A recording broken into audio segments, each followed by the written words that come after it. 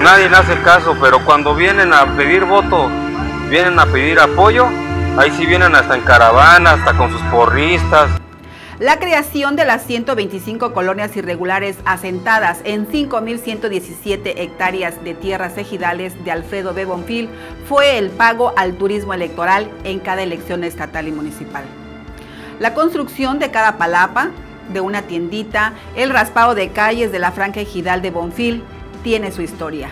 La voracidad de políticos y la necesidad de las personas por una vivienda.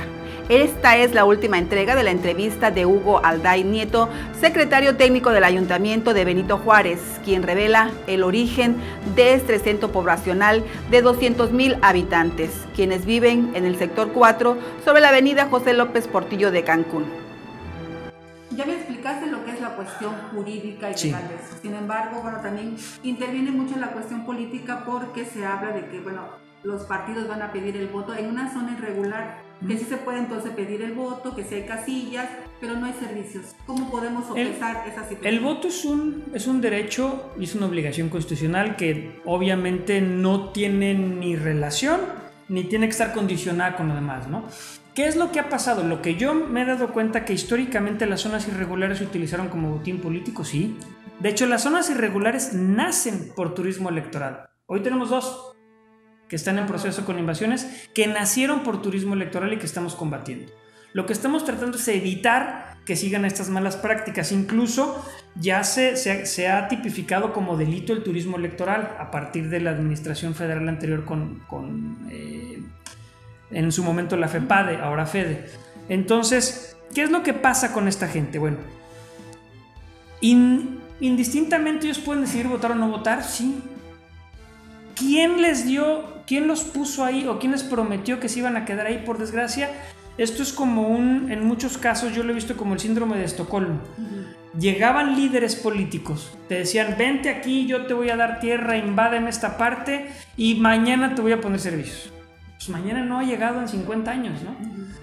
Sin embargo, esos líderes políticos nunca dejan de ir. Nunca dejan de ir y entonces, mira, te voy a conseguir que te pongan alumbrado, pero te va a costar entonces el líder político manda al, al, que les va a hacer la obra, el de la obra les va a cobrar y siempre llevan alguna tajada ahí los, que, los líderes políticos que siguen aprovechándose de esta gente. Luego te voy a llevar un raspado de calles, pero tienes que pagarlo.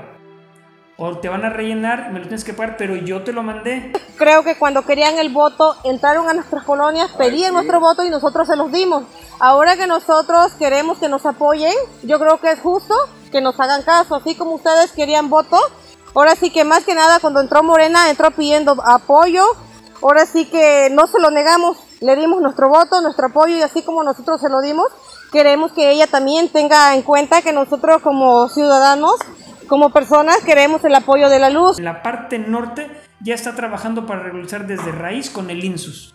En la parte del, del ejido Alfredo de Bonfil hicimos el convenio con el ejido que se firmó en marzo de este año y este convenio tiene la finalidad de lograr la entrega de vialidades.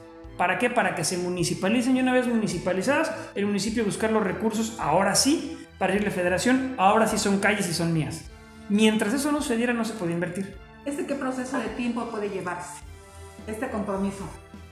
Mira, la entrega, por ejemplo, este, la parte de las mujeres de elegidos, las mujeres que están en Benito Juárez, que trae Insus, estamos, ahorita estamos en dos. ¿Cuáles son? Eh, Rey Jesús y Oasis, pero de ahí sigue una gran cantidad de colonias. Estas dos que son las primeras, eh, que son, digamos, el, prototipo de cómo vamos a trabajar con las demás, estamos prácticamente, yo creo que a menos de un mes de que ya tengamos el, documento. Hoy nos enviaban por correo electrónico de la federación una solicitud para que la presidenta municipal pudiera dar instrucciones. Necesitamos que, nos, que, la federación nos diga, dame esto. Eh, eh, ¿Por qué? Porque si no estaremos incumpliendo con normatividad nuestra que no nos no nos es dable. Entonces, como no podemos regularizar así porque sí, hay una ley de asentamientos humanos que y un código penal ahorita que se reformó en el 2019 en el estado que nos impide, este, además de que nunca se había hecho, necesitamos mecanismos. ¿Cuáles son convenios? Entonces, con base en el convenio que firmaste con la federación, necesito que me cumplas esto. Así sí. Entonces, por eso hicimos estos convenios, por eso tenemos el convenio con el ejido Alfredo Bonfil. Lo complicado que tenemos ahorita en el ejido Alfredo Bonfil es que como te decía, se fue armando un rompecabezas de distintas formas muy difícil.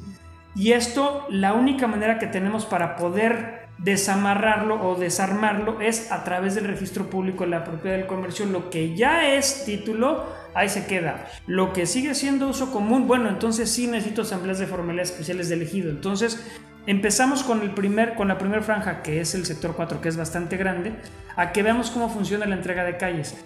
Saliendo esa, nos vamos con las demás y con las demás y con las demás. ¿Por qué? Porque hay muchas ventas, sobreventas y reventas de tierra que en su momento, si a mí elegido, el presidente del comisario general me dice, les hacemos entrega de estas calles, y resulta que en el Inter hubo una compraventa privada que está inscrita de una franja, lo van a demandar a él, nos van a demandar a nosotros y van a echar para atrás la entrega. O sea, es un tema que se está analizando, pero con con todo el de con allá. lupa. Sí, el de Isla Mujer no está tan delicado. Oye, fíjate que, bueno, haciendo, después de la manifestación que Mm. hubo reciente, que mucha gente pues estaba caldeado los ánimos, muy exaltada pues porque les prometen y prometen y no se aterriza nada, ¿no? Incluso amenazaban que si no llegaban a, a un acuerdo y, la- y que podrían cerrar pues la zona hotelera, ¿no? Las personas, se habla pues entre dimes y diretes, si el, el representante Gibral no cumple, no les da todas las posibilidades, que si hubo aldai, que hay un enfrentamiento. ¿Cuál es la situación real que se está pasando en esto? Porque entonces la gente pues como que tiene sus dudas también si se va a llevar a cabo aterrizar Mira, esta promesa. Yo creo que aquí hay, vuelvo lo mismo, un desconocimiento muy profundo de la materia. Muy, muy profundo, ¿no? Yo lo que puedo ver es que eh, de las últimas solicitudes de información, ni siquiera dentro del ejido, a ciencia cierta, se tiene la información completa de toda la tierra. Tenemos parte en, juicios, tenemos parte en registro público, tenemos parte con ellos, pero ni siquiera así se tiene toda la información completa. porque te digo que históricamente ha tenido un manejo eh, muy autónomo, elegido es autónomo, pero las, las ventas que hicieron, los títulos que, que tramitaron, eh, muchas cosas se hicieron eh, lamentablemente con malas prácticas, al amparo de algunos asuntos entre particulares, ¿no? Entonces son cosas que estamos tratando de rascar para saber a dónde vamos a llegar y qué podemos hacer.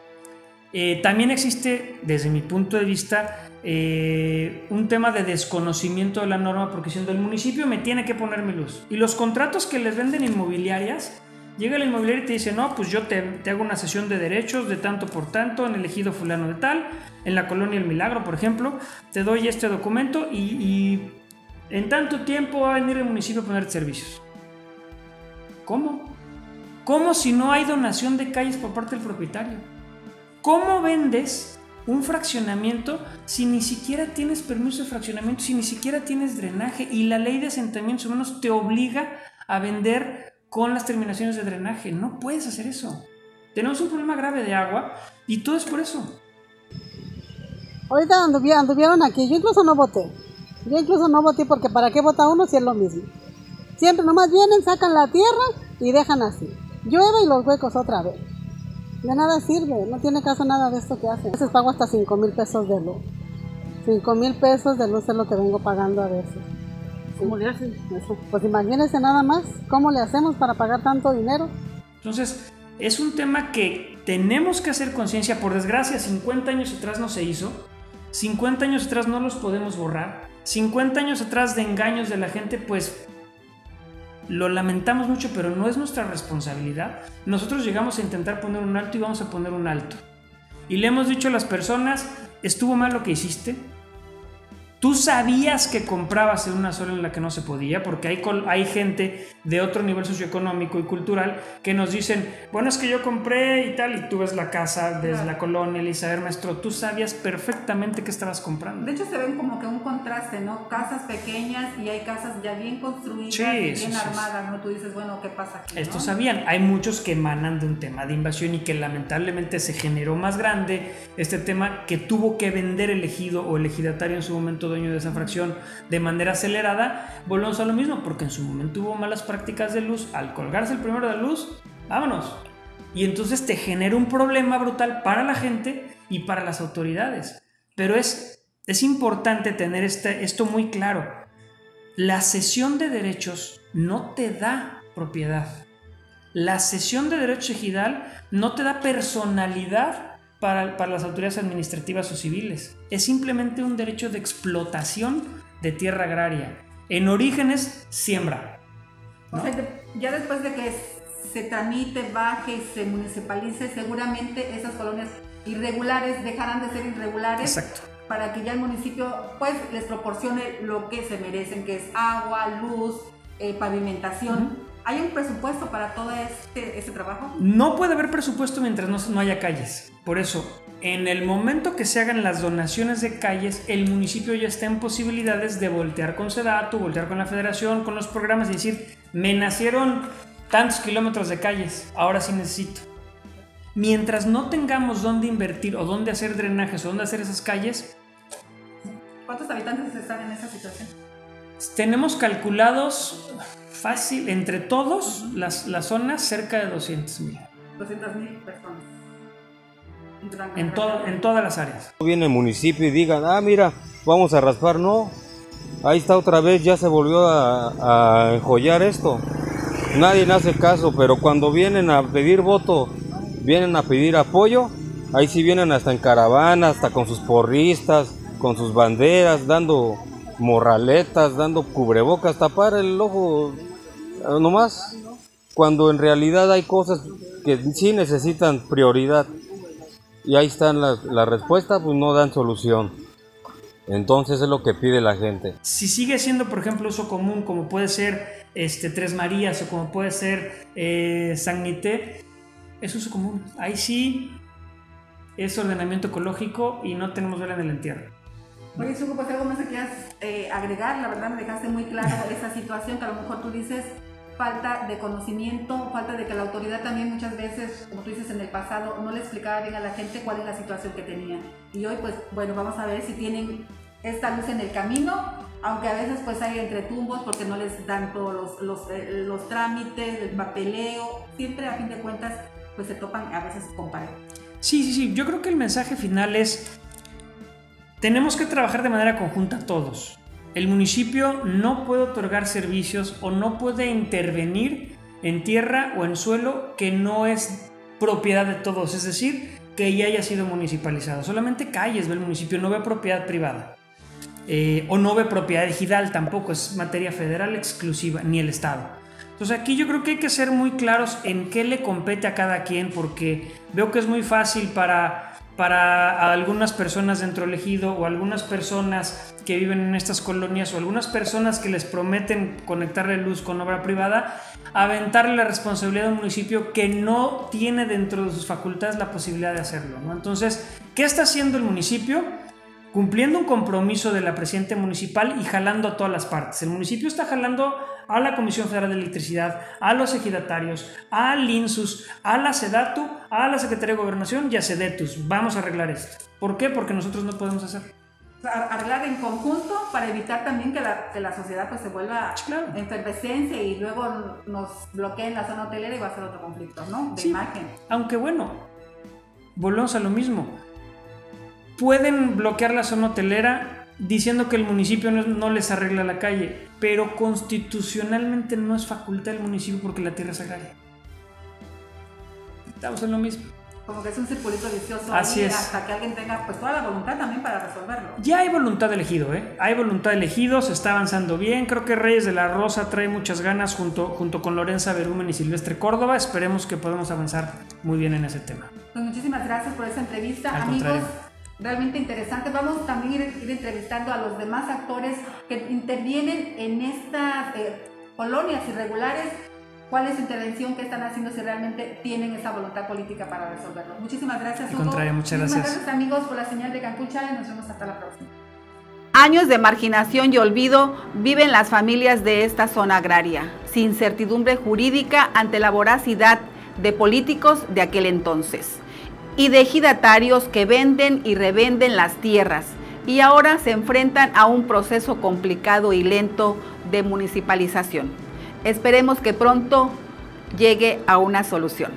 Yo soy Tony Salmerón, les envío un cordial saludo.